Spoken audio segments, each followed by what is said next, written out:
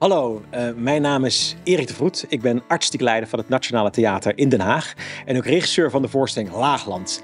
Uh, Laagland is een nieuw stuk van de hand van Nathan Vecht, die jullie misschien ook kennen van uh, de televisieserie Het Jaar van Fortuin.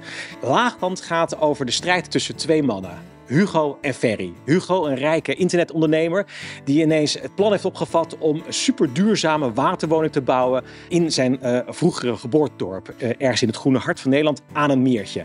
Hij komt daar echter in conflict met uh, de groep rondom Ferry. Ferry is namelijk de aanvoerder van de lokale reddingsbrigade, die ook hun strandje heeft aan het meertje. En wat in eerste instantie een eenvoudig te managen probleem lijkt, en wat er opgelost moet worden door de lokale wethouder van duurzaamheid, Dievertje, mondt echter na een ronde tafelgesprek uit tot een soort mini-burgeroorlog in dat dorp, Langwetering. Hoe het gaat aflopen, dat kan je allemaal natuurlijk zien in de voorstelling Laagland, wat dus binnenkort te zien is in uw theater.